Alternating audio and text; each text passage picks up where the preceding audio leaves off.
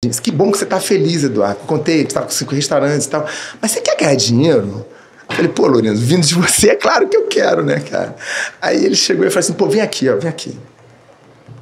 Aí ele chegou e falou assim, olha só o que eu fiz aqui. Aí o que, que ele fez? Hotel cinco estrelas, o que eles fazem lá? Ele faz ovo melete, ovo mexido na frente, aí tem meia dúzia de ingrediente e tal, aí você vai montando assim. Isso há muitos anos, né? Só que olha a sacação dele. O hotel, esse restaurante estava morto e do lado do hotel de Miami tem uma torre de escritório. E vivia vazio lá o restaurante. Ele falou, pô, eu vou pegar essa experiência aqui do, do café da manhã, de fazer ovo mexido, e vou fazer uma massa com isso. Então tinha duas dois fogãozinhos elétricos, assim, de indução, duas frigideiras Teflon, aquela que não gruda, é, e tinha dois molhos, meia dúzia de ingredientes e duas massas. E aí, com aquele pasta bar, né? Ele falou, cara, eu aumentei a minha venda em 50% no, nesse restaurante. Faz isso aqui nos teus restaurantes. Olha só. só... Aí veio Espoleto, E assim, só que o Mário, que é meu sócio, ele já tinha falado pra gente, falei, Eduardo, a gente tem que bolar alguma coisa que seja de massa né? Porque massa, né, é água com farinha. Né? E você, você pode hoje, preços de hoje, sei lá, no espoleto você pode comer com 25 reais, ou você vai comer uma massa no gelo, sei lá, por 140, 150 reais, e é muito parecida a matéria-prima, né? No caso, se for o fettuccine espaguete, é igual a qualidade. Então, é, a gente faz assim, pô, como é que a gente... O Mário a gente tem que fazer alguma coisa assim. E tinha uma marca em São Paulo chamada Súbito, que a gente quase foi franqueado deles aqui. Quase. E quando a gente. Só que eles queriam fazer um restaurante muito grande. E como a gente estava vindo de estar quebrado, com um restaurante grande, a gente queria coisa bem pequenininha, que era o súbito lá de São Paulo. Aí acabou que não deu certo a, a, a trazer para cá. Mas a gente ficou na ideia de fazer uma comida em praça de alimentação como eles. No caso, Dório, quando vocês tiveram a ideia de. Vocês queriam abrir alguma coisa que fosse com preço mais barato, que as pessoas comprassem mais rápido, consumissem mais rápido? É, a gente queria fazer uma coisa de massa. Em pra... A gente queria fazer alguma coisa. A gente queria construir uma marca. Tá? A gente queria deixar de ser dono dos restaurantes e construir uma marca. E aí veio essa oportunidade de ser franqueado do súbito, acabou que não deu certo porque eles queriam loja grande, a gente queria pequeno, mas a gente não queria fazer um súbito aqui no Rio, a gente não queria copiar os caras, entendeu? A gente queria fazer uma coisa diferente. E o Mário já tinha esse pensamento de fazer uma coisa com massa, que agrega muito valor, você ter uma margem boa, um preço acessível e você poder crescer. Quando o Lorenzo falou isso para mim, foi que nem desenho animado, sacou? Eu caramba! A gente não vai fazer isso dentro do nosso restaurante, vai fazer disso um restaurante. Aí eu me lembro que eu liguei, Mário, Mário, meu irmão, achamos que você estava querendo, cara, achamos que você estava querendo. Ele, Pô, meu irmão, não te pedi nada, meu irmão, vai curtir tuas férias aí. Vai, não, cara, teu negócio é de massa. Ele, como assim? E, gente, e, aí foi a primeira vez na nossa vida também, fica até arrepiado, porque é incrível mesmo.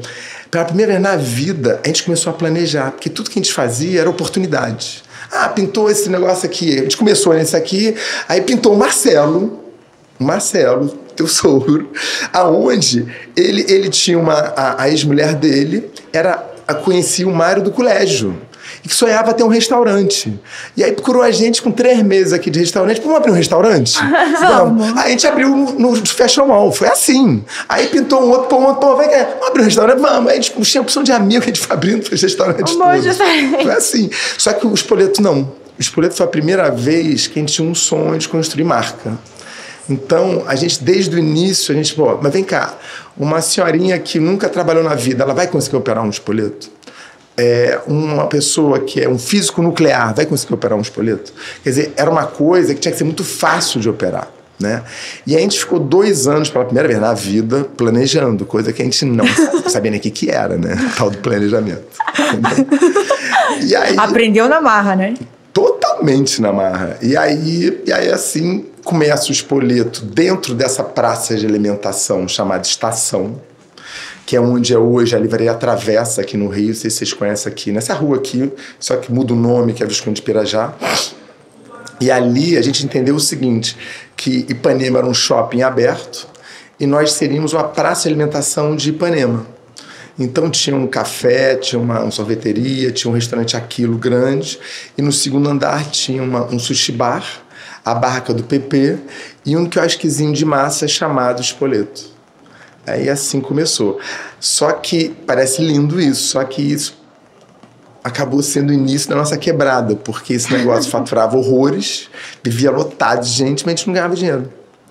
E aí a gente acabou separando a sociedade, aí o Mário ficamos com estação, porque era um elefante branco, mas por causa do dente de marfim, vamos dizer assim, que era o espoleto. Aí a gente fez de tudo, fizemos boate, primeira raves, música eletrônica, que era na, na garagem do prédio, essas coisas malucas assim. E aí a gente tecnicamente estava quebrado em 98, quando o Mário chega para mim e fala assim, cara, tá vendo aquela água ali? Eu falei, cara, onde? Onde que eu vou pô, pedir para secar? Não, meu irmão, tu não tá entendendo nada. A gente tá afundando, meu irmão, a gente vai afundar. E o Titanic vai levar o nosso botinho de salvamento, que é o espoleto. A gente tem que lançar o espoleto como franquia. Eu falei, meu tá maluco, meu irmão, não dá, não dá pra fazer mais nada, tá louco. Eu falei, não, meu irmão, é agora, tem que fazer, vai ter uma feira de franquia aqui no Rio. E a gente precisa é, é, lançar esse negócio, cara. Senão a gente vai quebrar, vai tudo embora. Eu já fui, já arrumei. Eu só preciso de uma coisa de você. Eu falei, o quê? Não, quando a gente for fazer a feira, eu preciso de você lá comigo. Mas ia ajudar um pouco no desenho e tal, mas deixa que eu cuido de formatar essa feira aqui. Aí a gente foi, a gente gastou, sei lá, 5 mil reais na época. Tinha uma mesa, três cadeiras, quatro cadeiras no caso, né? tinha uma televisão com um vídeo. E esse vídeo foi feito pelo estagiário de câmera da conspiração. O, a parte de, papela, de papelada era o irmão de um irmão nosso, que vai até passar o Dudu Garcia, o Gugu, que é o irmão dele, que estava começando. Hoje ele arrebenta, trabalha nos Estados Unidos, tem uma empresa incrível. E, e ele, ele tá, fazia design no quarto dos fundos de empregado da casa da irmã. E a gente conseguiu narrar. As, os modelos eram, eram as vendedores da loja ao lado que a gente trocou por comida para tirarem foto com a gente ali. Gente, você vê que tudo dá um jeito. É, tudo dá Precisava um jeito. ter feito o negócio. Aí, e aí, onde é que era a feira? Né, de franquia. Aonde? Nada, Papai do Céu sempre ajuda. Quem é que era? Era no Hotel Intercontinental. Olha só. Então eu conhecia todo mundo, né, cara? Então os caras, a gente com uma mesinha, era, era o quiosque mais pobre da feira toda. Mas a comida era melhor, né, cara? Que os caras davam tudo pra gente, né, cara? Imagina, eu era gerente de alimentos e bebidas do hotel. Então os caras, pô. Tinha tudo. Tinha tudo lá pra gente. Que sortudo. Você vê que é uma boa oportunidade quando Exato. acontece. É e tudo. aí vocês. é, Em quanto Não, tempo vocês desenharam tudo isso não, na não, feira? ah, Isso foi de 90 e... Então, em 95 foi quando o Lorenzo falou pra gente. Em 97 a gente abriu esse quiosquezinho. E em 99 é quando a gente considera que a gente abriu o espoleto. Que foi quando a gente foi para um lugar que era uma praça de alimentação onde a concorrência era real. Porque no comi daquilo praticamente não tinha massa. Por quê? Porque tinha um espoleto em cima. Então ele era todo protegido ali dentro, entendeu? E aí em 7 de fevereiro de 99 a gente abre o, o, o espoleto no Shopping Tijuca.